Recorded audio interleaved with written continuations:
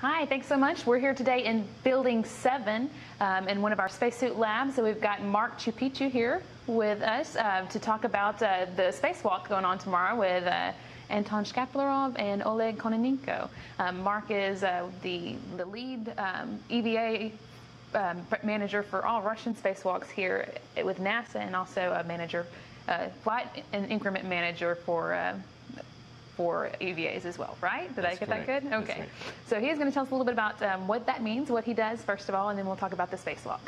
Well, what I do, oh, first of all, thanks. It's very nice to be here. Uh, what I do is I, I oversee all aspects of EVA for the EVA office. That includes operations, hardware, uh, logistics, uh, and including safety as well. I also chair the Joint EVA Working Group, which is bilateral U.S. and Russian group, where we oversee all the aspects of our EVAs together. So, and we also try to resolve issues that we have to work out together. Um, that's uh, my main uh, So how, yeah, how much involvement does, does NASA have when we have a Russian spacewalk coming up? Uh, we we do uh, get involved pretty pretty in depth. We uh, we get um, all the information uh, from our Russian counterparts, um, and we, we get that to the ISS program office and make sure everything is within requirements, etc. We also lend them some of our tools for the EVAs. Uh, so we do uh, get involved. So it's not like we can just kind of sit back and relax just because none of our crew members are going out. No, not at all. Uh, our crew members do help out as well to get prepared for the EVAs, so they get involved as well. Okay. So um, it's, spacewalk is tomorrow. What what are they going to be doing tomorrow morning as they get ready for the spacewalk? Uh, in the morning, uh, the crew will first don their, their, their gear, um, liquid cooling garments. Um, And I think we actually have somebody here. Russell, in a liquid cooling garment, so we can get a look at what that actually is. As you can see, the uh, liquid cooling garment has uh, tubes, uh, goes all the way up down to the knees, around the arms. And basically what that does is allows the, the crew to uh, regulate cooling water through their uh, LCGs, so that way they can regulate the temperature so they feel comfortable when they work inside the suit. Yeah, I guess um, there's not. It gets pretty cold or pretty hot in space, depending on whether you're in the sun or in the That's shade. That's correct. And so this is how we help them stay comfortable. Yep. Okay. Thank you so much, Russell. Uh, once they have their gear on, they will um, ingress the airlock, Mm-hmm. um, uh, close the hatch, do some leak checks of the hatch. They will uh, ingress the, uh, the suits, Mm-hmm. um, close the suits, and do some leak checks with, on the suits, as well as the uh, prime and backup airlocks. Mm-hmm. They'll do a pre-breathe uh, when they get all the nitrogen out of the body, um, start breathing pure oxygen, and then they will um, basically switch to autonomous power. They go off the umbilicals, open the, the hatch, and go out EVA. So it sounds a lot like a U.S. spacewalk. It's very similar. Yeah. Are there any major differences? Uh, some of the differences is how they ingress the suits. The suits are built differently. Mm-hmm. Um, so that, that's the process is a little different. Uh, the pre-breathe times are also a little different. Uh, Okay. because the suit pressures are different. Yeah, and speaking of the suits, we've got an Orlan Russian spacesuit here behind us um, that we can take a look at. Maybe you can point out some of the, the features on it. Sure. Squeeze on. You see in the front, you'll see a, uh electronics control panel on top on the left, and here you have a, a fluid uh, pneumo hydraulic control panel. Um, What does that do? with this one, the crew regulates the oxygen inside the suit and also the cooling. This lever right here regulates the coolant they get through the liquid cooling garment. Okay. On the control panel, they regulate all their fans, their pumps, um, any messages, error messages, and so, and so on. Okay. And this, this suit is a little different than the one they'll actually be wearing tomorrow, right? Correct. This is an Orlan M. The suits on orbit are called Orlan MK. The extra K is for computer. So Okay. the suit on orbit now has a computer, um, so the, the crew has a lot more interaction through a computer rather than it was analog before. Okay. Okay. So this is just an older version, a a little bit bit upgraded on, on orbit for them to use. But um, so it, it, you know, I guess The it other looks things- very different from the U.S. suits. Yes. And the other things to point out are the uh, the two tethers you see here. The crew uses these two tethers to translate outside ISS, Mm-hmm. and they attach these to the handrails and they translate across the ISS this way. Okay. Okay. So um, on the U.S. spacesuit, you've got kind of the, the bearing where the waist connects and then different, you know, connection points for the shoulders and, and wrist and things like that, right? Correct. This is pretty different. The Orlan is a one-size-fit-all spacesuit. Really? Uh, all the crew does is they size to their to their measurements um, using the levers on the, the arms and on the legs. And Levers? yeah, they have, the newer suit has a nice little lever that they, Kind of cranks it shorter or longer, right. depending on what you need? It lets it out or, or tightens up. Okay. Depending on the size of the crew members. Interesting.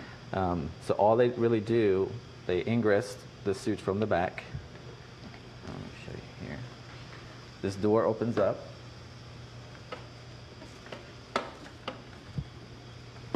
The crew sits inside on the on the lower part of the door, gets their hands in through the uh, through the arms, ducks in, make sure they don't hit their head, and then they basically just sit inside the suit. It's very convenient. Okay. And I know we're looking at rear entry suits for our future spacesuits, huh? Going to the moon and Mars test Right. trip. Great. Okay. So um, once you get in, I guess close the door and it's Once all sealed in- up tight. You uh, close the door. You do have to attach the gloves. That's the only thing that, Okay. that they have to do. That's the last thing. They, they attach the gloves. And then they're ready to go. Okay. And that takes about how long?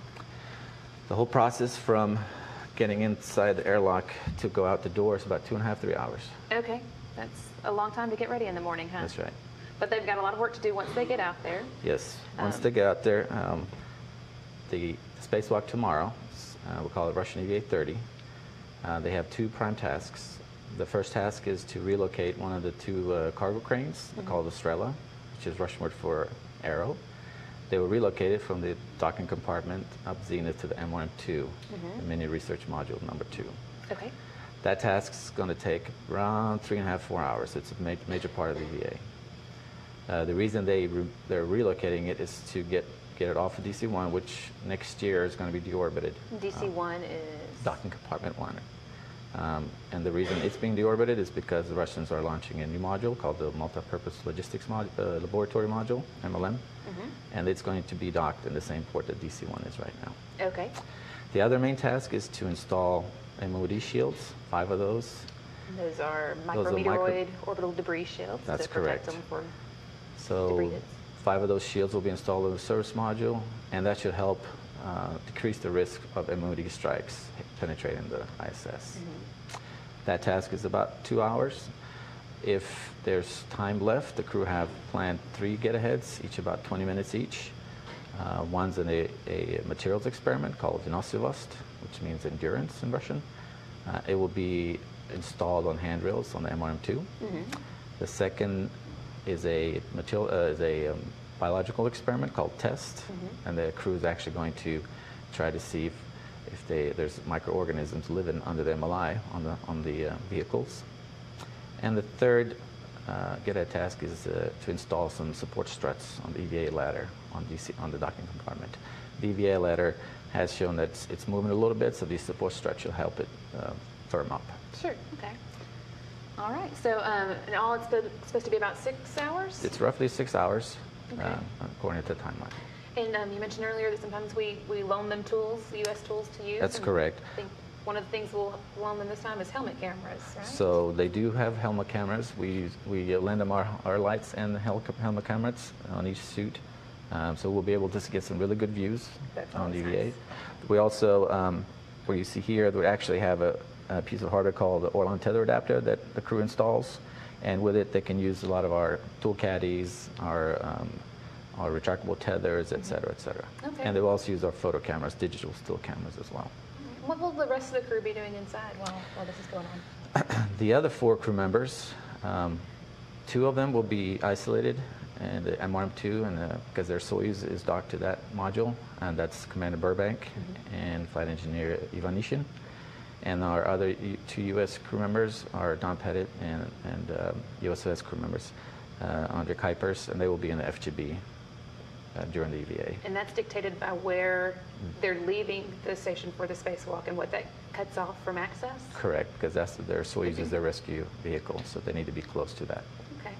But they'll be, as much as they can, kind of going about their, their regular business? That is true. They all have activities planned uh, during the EVA, and it's actually when we do the relocation of the Strela, uh, uh, if, if needed, the crew can go and look and make sure, help guide them if, if, if they're tight clearances. So they will be ready to support.